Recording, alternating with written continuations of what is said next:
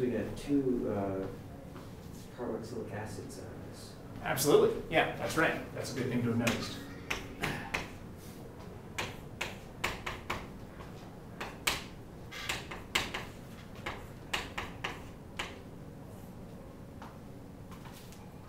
Oh, I didn't really didn't give you much trouble. That's good. What type of functional group did we start with here?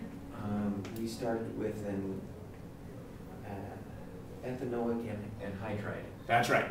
So you actually named the specific one, ethanoic anhydride. That's right. And what type of reaction is this? What's the general This name? hydrolysis. Yeah. To be more specific, we could call this a anhydride hydrolysis. And so we're not surprised that we got carboxylic acids. That's what you get when you hydrolyze a carboxylic acid derivative. You get carboxylic acids, although you don't always get two of them like we did here. You did a bunch of good things here. You were using your asterisks to keep track of the oxygen. Um, also, you very clearly marked out who the L group was going to be at some point so that we didn't get lost between them. This is the step where it would be most easy to get confused, but you just reform the carbonyl. Um, it might have been acceptable here to transfer the proton over to here to make this a better leaving group, but actually I think the way you drew it is a little bit more conventional. So the way you drew it is fine, or, or maybe even better. But it would also be reasonable to be, do a proton transfer here. Uh, but uh, it's perfectly fine to do the proton transfer here as well. In fact, maybe that's a little more conventional. So I, I think you, you did work out the best way to do this. This is certainly the most logical thing to use here to take this proton. Uh, what's the specific name for this carboxylic acid? Um, um, acetic acid? Yeah, and how about this one? Acetic acid. Yeah, because this was a symmetric anhydride, we got two of the same carboxylic acid. The common name here we were already seeing was acetic acid. That's right. Good. The place where people would be most likely to get confused is this step, uh, but you didn't get confused. We didn't need a catalyst here, because again, this is one of the more reactive elements. It has a very good leaving group here, and this negative charge is stabilized by resonance.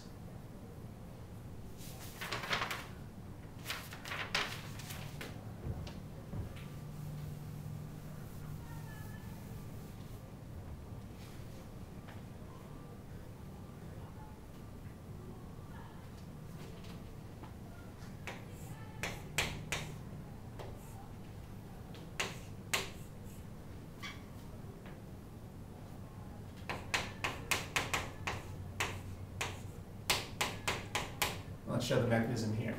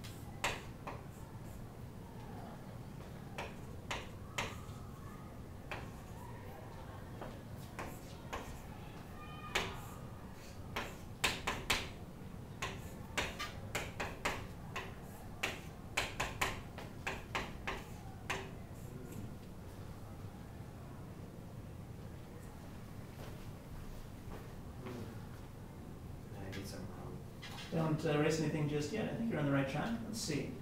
Actually, I don't think you made any mistakes so far.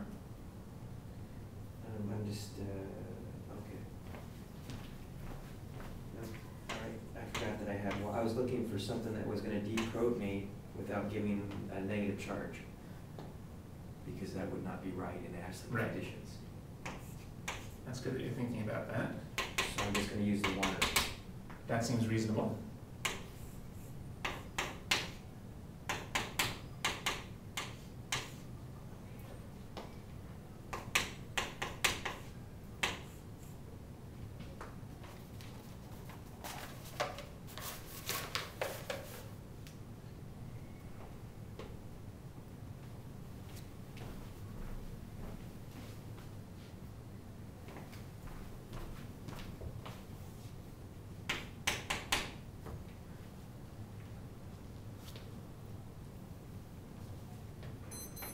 And then I end up with an acidic acid, the hydronium, and the ethanol.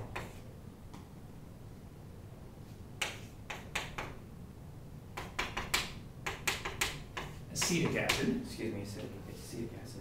Good. And, and ethanol. Good. Yeah. You're right. The only thing I forgot on this one is to label my carbonyl carbon and carbonyl. Yeah, no, that, that's a, a real good approach here. Um, left out one little arrow here that frees up the electrons No, to throw them back onto the oxygen. That's got rid of the positive charge. Okay, good. Yeah, all right. So um, you marked out early on who the L group was going to be. That's good, so we don't get confused about that. Again, this is a, a picture. Here's the picture where people. Well, let's take this from the beginning. You notice that we were under acid catalyzed conditions, so we have to start by protonating somebody. If you're under acid catalyzed conditions, you have to start by protonating somebody.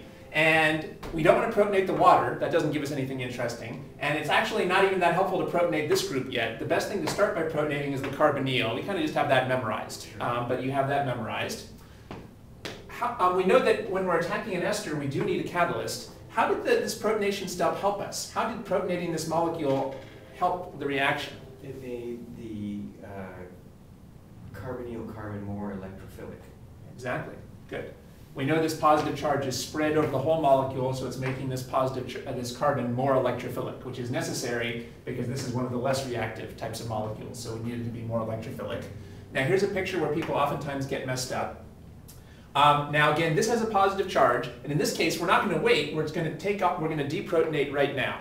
Now, a mistake a lot of people would make is moving the proton over to here. But that would be useless because we don't want this to leave. We want this to reform the carbonyl. So we don't want to give it any, even more protons. This is where it's very helpful that you recognize that this was the L group. So this is the group that we need to put the proton on.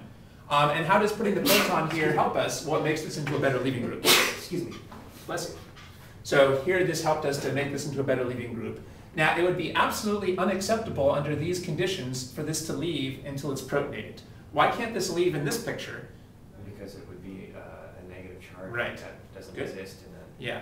acidic condition. Acidic conditions keep everything positive or neutral. So this cannot leave until it's become positive so that when it leaves it becomes neutral. If it left in this picture, it would be negative. That's not consistent with our conditions. That's one of the most common mistakes people make.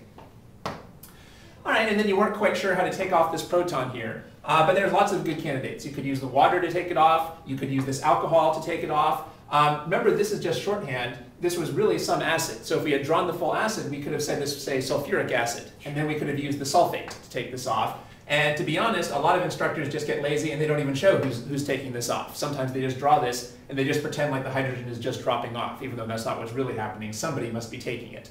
Uh, but sometimes they don't show who's taking it. Um, so, um, because they didn't show what the rest of the acid is here. Um, so it's, it's not quite clear who would take this, but that's fine.